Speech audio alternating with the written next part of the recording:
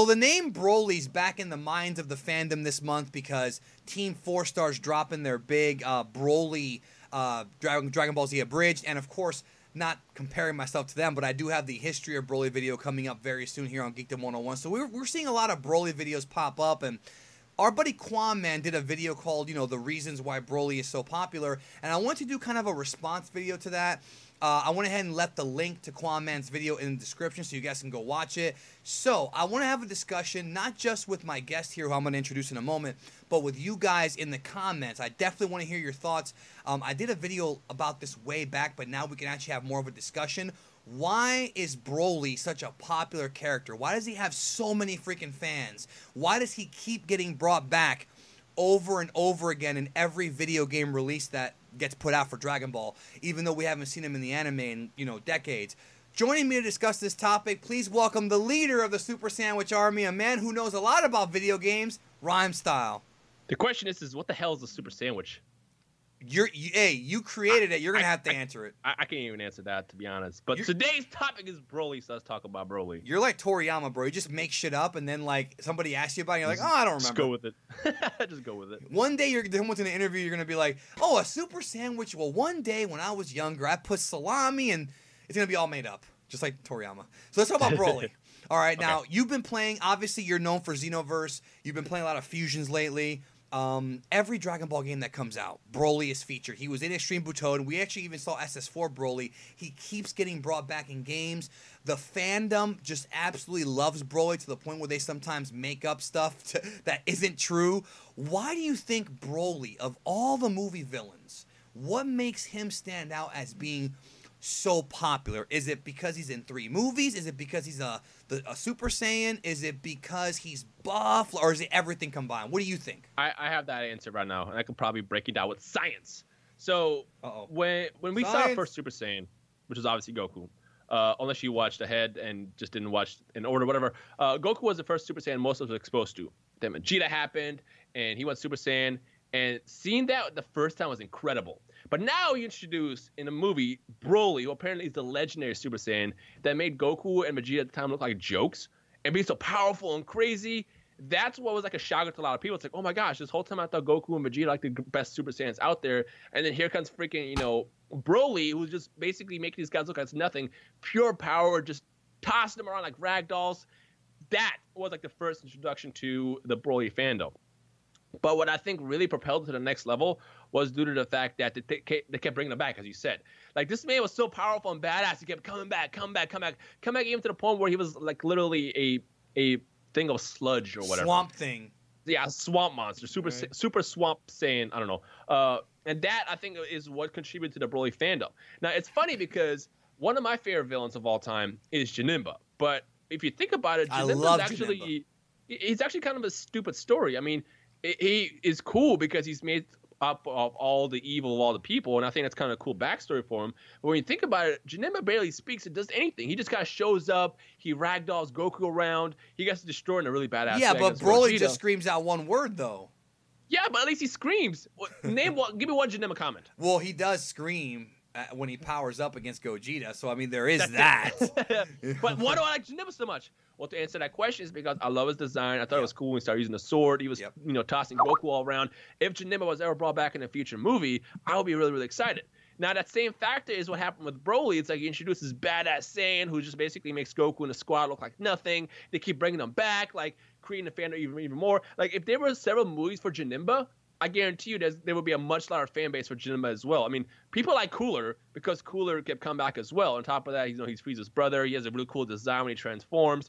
Like, I think it's just the fact that they kept bringing him back. He was a badass, super bulky, powerful. He was just kind of ragdolling everyone. And I think that was like the big start of the Broly fandom. Well, uh, that, that was actually my point about him being big and bulky because, you know, I I don't know about you, but I saw Avengers – the night it came out. I saw it opening night, and the one scene that everybody kept bringing up was the scene where the Hulk takes Loki and spins him around and says "puny God."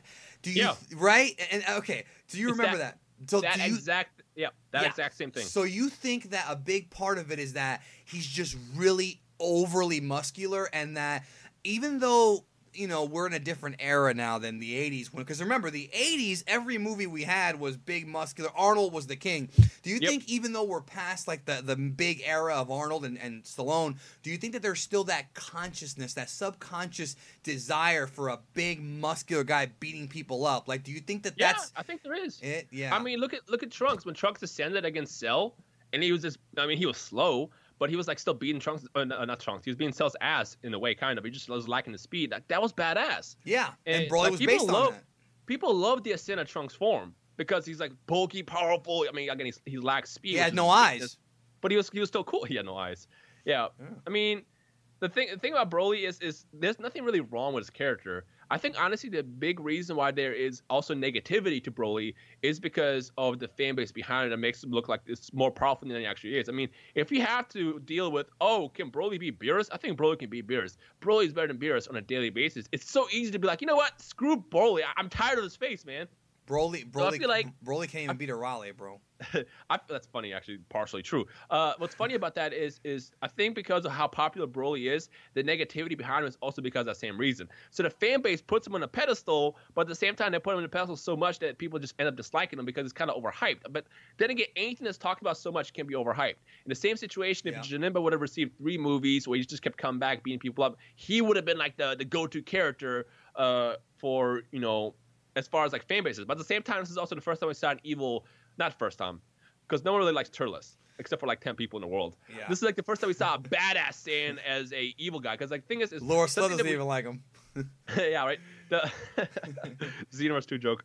Uh, the thing about Broly is we always wanted a, a antagonist from the Saiyan side that was actually doing something. Yeah, because Vegeta's and, popular too. It's the same thing, right? Yeah, Vegeta's too, but he became a good guy. Whereas Turles just kind of showed up and he got defeated a lot faster. I guarantee you, if Turles had a Super Saiyan transformation in his movie, he would be the basically the Broly of today. I mean, Turles is the original Goku Black, to be honest. Let's be real here. Yes. But if yes. if Turles would have seen received the same um, same backstory that Broly did, where he was like a Super Saiyan, like a legendary evil Saiyan, whatever. I feel like he would have been more popular than Broly is, but just because of how Broly is presented, of you know being this legendary Super Saiyan, super bulky, ragdolling everybody around, that's why he's so popular today. Yeah, but it's funny because I've made this point before he's not the first movie villain to do that. Every movie villain has that scene in their movie where they shine.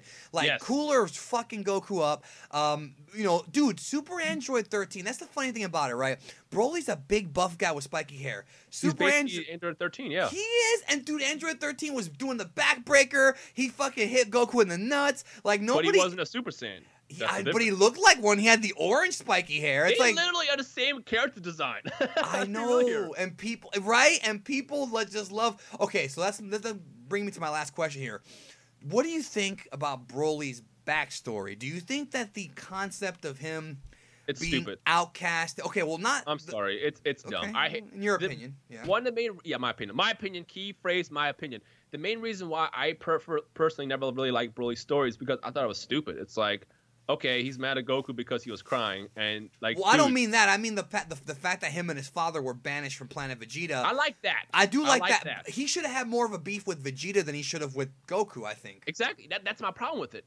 Had they would have done a story like that, Broly's character would be written so much better. But the fact that like they take the idea of this Saiyan outcast who wants to get revenge on all Saiyans, which is fucking awesome, by the way, and instead of replace it with, oh, he's actually mad at Goku because he was crying. That's what always yeah, kind of like yeah, tickle my balls the wrong way. It's like for real, like what you they, guys just ruined it. It could have been so much better. What but they should have, what they should have done, I think, is actually shown how much power Broly really has, and uh-huh. let everybody know, like, okay, had you not fucked up and killed Broly or attempted to kill him and his father, he might have saved you from Frieza. Now, it seems a little bit illogical that a baby could save a you know a planet from Frieza. But again, it's a little it, it, it's Dragon Ball. It doesn't make any sense. We saw Pan flying in space, so it doesn't matter.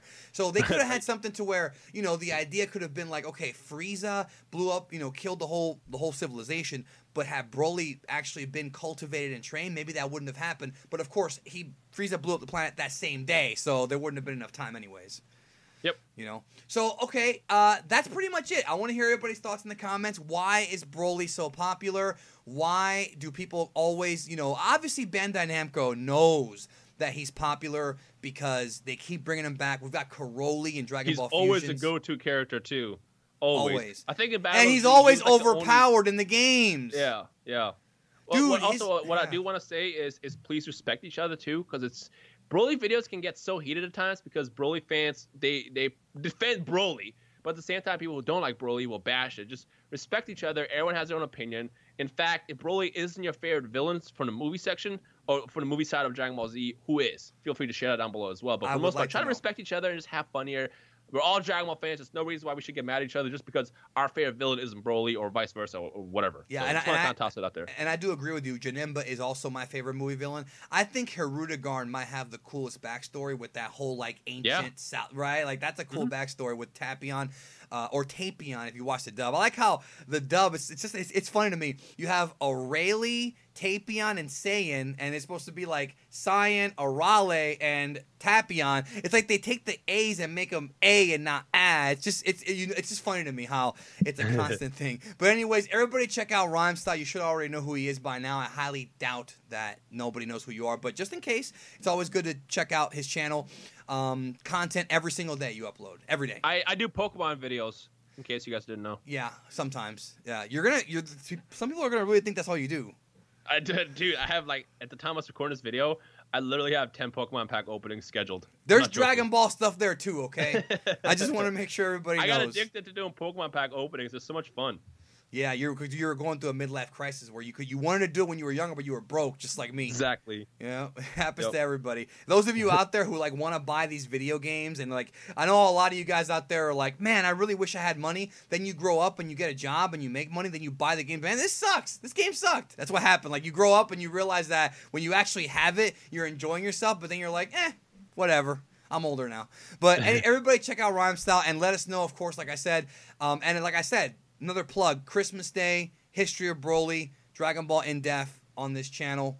Definitely make sure you're here on, oh, not Christmas Day, I'm sorry, Christmas Eve. Christmas Eve, that video is dropping. Learn everything you want to know about Broly. I'll catch you down the road. Kakarot!